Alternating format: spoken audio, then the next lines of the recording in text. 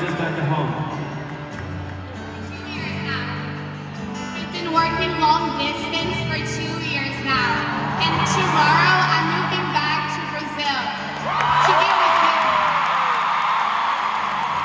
What's his name? Rafael, Rafael. Well, this one's for both of you. Congratulations.